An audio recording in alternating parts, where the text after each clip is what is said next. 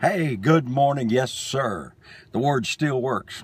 You know, I told you yesterday about having the word that came from God, what I thought it was in my spirit, man, when I was getting dressed. And what I heard was, uh, my days of poverty and lack are over. And I said, whoa, whoa, this, if God speaks this to me, he would be saying, your days. So I said, what about that? And the Lord spoke to me and said, that's the problem with my people is they're wanting me to carry the weight of saying it rather than them saying what I said. now, what's this? God said to Abram, You'll be called Abraham, which means daddy, father of many, said to Sarai, You'll be called Sarah. They had to use those words. Didn't make a whole lot of sense. I mean, I can see Sarah waking up in the morning saying, uh, Good morning, Daddy. And he would think, hey, I'm nearly a 100 years old, man. And, you know, my body's dead. He'd say, Well, hey, woman. Hey, wife. Hey, mother of many. Well, that renewed their bodies so that their bodies was able to produce a miracle.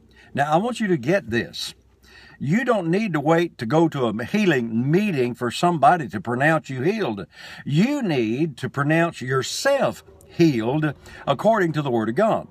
I told you this several weeks ago. Jesus said in Matthew, homologeo is the Greek word that if you'll say what I say before man, that word there, you read it in the King James, if you confess me before men, that means if you'll say the same thing that I say about you before men, then I'll say what you say before my Father. Now watch this.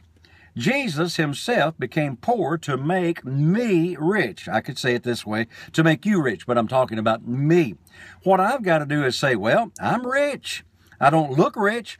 And so when Pat gets up in the morning, just like Sarah would say, Hey, Daddy, she needs to go, Hey, rich man, because I'm in agreement with God's word. Therefore, Jesus is going to say what I say. So my bills are paid. I'm rich. My body's well.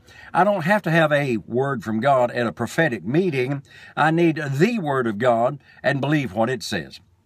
I've been doing some teaching on the blood of the Lamb. It's great stuff. Watch this.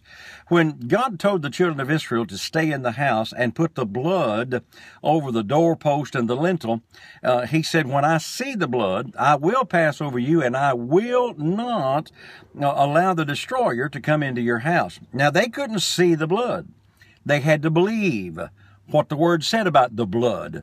It didn't matter how good they were, didn't matter how bad they were, didn't matter if they went to church or not, didn't matter if they were rich or poor, didn't matter if they were sick or, or, or not sick.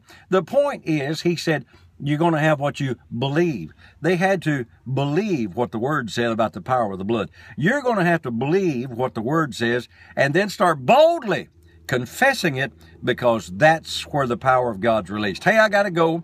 I'll talk to you again later on today. But remember, the power is in the word that's released out of your mouth. Have a great day. Jesus is Lord. Yes, sir. That word works.